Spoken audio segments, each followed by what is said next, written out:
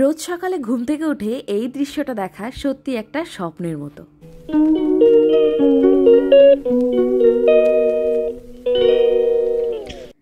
Good morning guys আরও একটা দিন তোমাদের সাথে শেয়ার করতে চলেছি। চলো, আজকের দিনটা শুরু করা যাক। প্রত্যেকটা দিন একটু একটু করে চোখের সামনে মিহু বেড়ে উঠছে।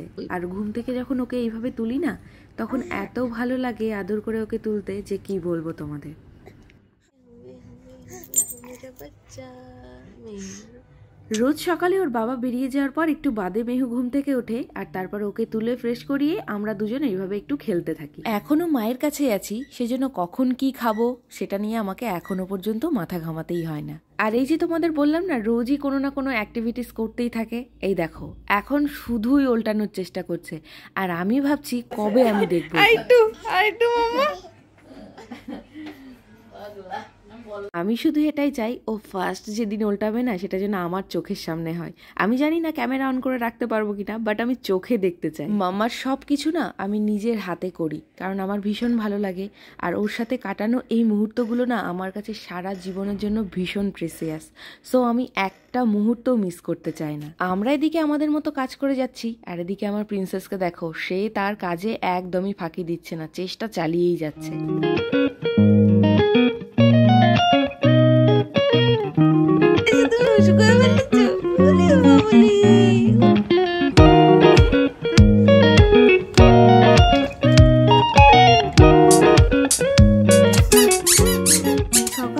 মাম্মাকে উঠিয়ে ফ্রেশ করিয়ে ফিট করিয়ে একটু ঘুম পাড়িয়ে তারপরে ওকে আমি উঠিয়ে তেল মালিশ করে দিই আর তারপরেই আসে ওর স্নানের পালা। এখন স্নান করতে হবে? ঘুম থেকে উঠতে তো হাসি। আমার মেহু বরাবরই স্নান করতে খুব পছন্দ করে। ও শীতকালে হয়েছে বাট ও স্নান করার সময় একটুও কাঁদতো না আর মা খুব টেকনিক্যালি ওকে স্নান করাতো আর সেটা আমি এখন শিখে নিয়েছি। এই যে এই যে এই যে বাকি কই কই দেখি দেখি দেখি দেখি দেখি। দুষ্টু। এই যে এই যে। ওকে স্নান করানোর পরে রোজ দিন পারি না তবে মাঝে মধ্যে আমি এইভাবে ওকে চারিদিকে একটু সাজিয়ে গুছিয়ে ছবি তোলার চেষ্টা করি। এটা এখন আমার হবিস বলতে পারো। আরাম লাগছে চুপ করে রয়েছে দেখ। সো স্নান করার পর মাম্মা এবার ফিট করে আবার একটু ঘুমোবে। এবার আমার ফ্রেশ হওয়ার পালা। আর যখনই আমি স্নান করে উঠে আমার চুলে হাত দিই না, আমার মনটা এত খারাপ হয়ে যায় যে তোমাদের কি বলব? আমি ভীষণ চুল ভালোবাসি। আফটার পোস্টপার্টাম হেয়ার ফল আমি জানতাম। বাট এতটা আমি কল্পনাও করতে পারিনি কোনো দিন আর এই এত হেয়ার ফলের জন্য আমি একটা সিদ্ধান্ত নিতে বাধ্য হলাম। আমার এখন কষ্ট পেতে একদম ভালো লাগে না আর সবসময় হাসি খুশি থাকতে ইচ্ছে করে। আর আমি সেই জন্য সব কিছুর মধ্যে একটা পজিটিভ ভাইবস নেওয়ার চেষ্টা করি। কতটা পারি জানি না, তবে চেষ্টা করি। আর আজকে সেই কারণে সেজে গুজে মাম্মাকে মায়ের কাছে রেখে অভির সাথে বেরিয়ে পড়েছিলাম। কোথায় বেরিয়ে পড়েছিলাম তোমরা হয়তো আইডিয়া করতে পারছোই, কারণ আমি একটা শর্ট দিয়ে দিয়েছি অলরেডি দেখেই নিয়েছো। তবে চলো আজকের ফুল ব্লগটা দেখতে থাকো।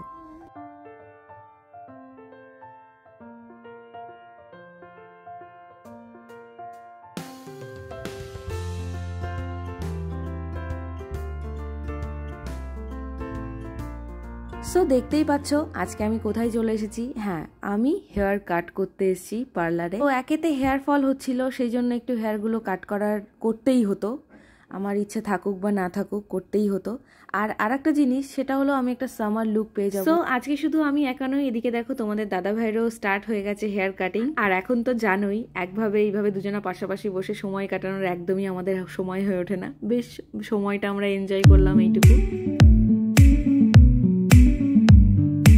Finally hair cut complete but তারপরে আমি লাইফে এই প্রথমবার এই ডিসিশনটা নিলাম যে আমি হেয়ার কালার করব। খুব ইচ্ছে ছিল অনেক দিনের হেয়ার কালার করার বাট সময় হয়ে ওঠেনি বা কখনো হয়ে ওঠেনি, যেভাবেই হোক। তো আজকে কেন জানি না, ইচ্ছে হলো আর হঠাৎ করেই হেয়ারটা কালারও করে নিলাম। ওরা তো এদিক ওদিক করে আমার হেয়ারটাকে কালার করে যাচ্ছে, আর আমি শুধু ভাবছি যে আমার হেয়ারটাকে নিয়ে কী করছে আর কি রেজাল্ট আসবে। Thank you.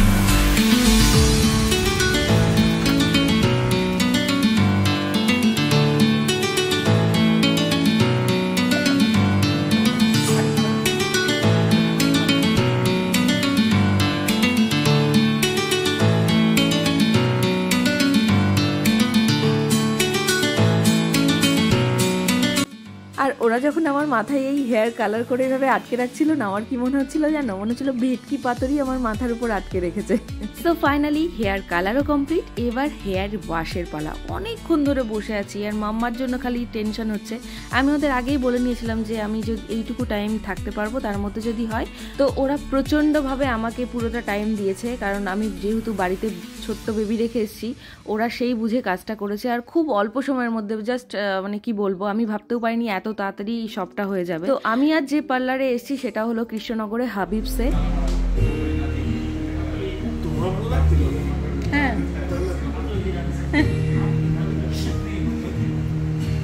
কিন্তু আমি তো সবসময় দেখব না দেখবে তো তুমি। এটাই point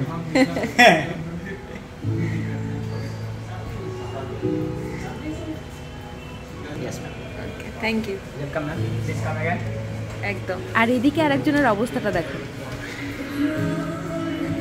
তোমার কি ঘুম পেয়ে গেল? সো গাইজ আমি আমার ফাইনাল লুক পেয়ে গেছি আর আমার কিন্তু ভীষণ ভালো লাগছে।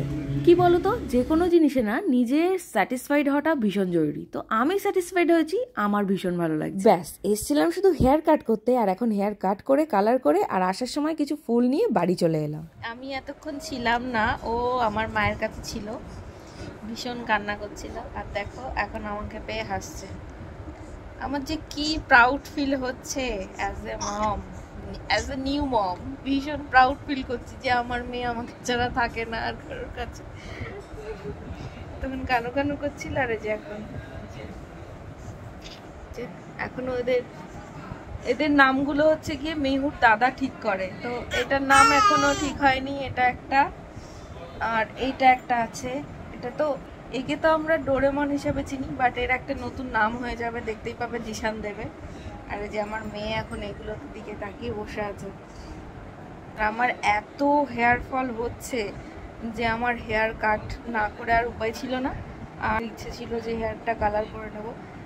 আর আজকে যেহেতু অভিও বলল, দেখলাম ও বারবার করে বলছে হেয়ার কালারের কথা।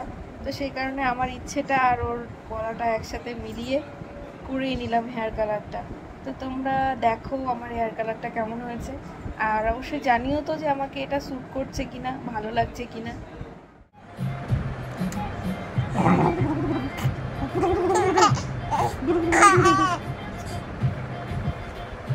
দেখো বাবা আর মেয়ের ঢং হচ্ছে, দেখো। কি হচ্ছে? কি হচ্ছে মেহু? এই যে মেহুর বাবা নিয়ে এসছে মেহুর জন্য, পুতুল। এই যে, পুতুল পুতুল পুতুল পুতুল। ওরে বাবালে কি ঢং হচ্ছে বাবার মেয়েতে। আমি কি বাদ? আমি কি বাদ? নাকটা খেয়ে নিল। সোনা মাটা কই? সোনা মাটা কই? আজকে আমার সোনা মাটা ফোর মান্থ হয়ে গেল। ফোর মান্থ হয়ে গেল সোনা মাটা? বাবা রে কত আদর খাচ্ছে, দেখো, কত আদর খাচ্ছিলি একদম মুখে কিছু করবে না। পাপা, একদম মুখে কিছু করবে না। না না না না না, কিসি কোনো দিনও সো গাইস আজকের ভিডিওটা আর লেন্দি করছি না। আরও একটা দিন মেহুর সাথে আমাদের এইভাবেই কেটে গেল। চলো, আজ এই পর্যন্তই। দেখা হচ্ছে তোমাদের সাথে নিউ